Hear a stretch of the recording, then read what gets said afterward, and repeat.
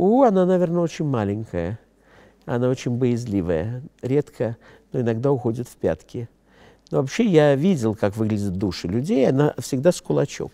Это небольшая такая очень довольно плотная прозрачная субстанция, которая исходит из нас при последнем вздохе. И если вы будете фотографировать темное пространство аппаратом со вспышкой, вы всегда увидите одну или две э, души, которые летают, особенно в старинных помещениях. А вот, например, в таких помещениях, как храм или церковь, долго, э, скажем, забытых или заброшенных, там вы найдете сотни душ, которые летают. Это очень легко найти. Часто снимаю, мне всегда очень интересно, сколько душ в пустом театре. Всегда нахожу.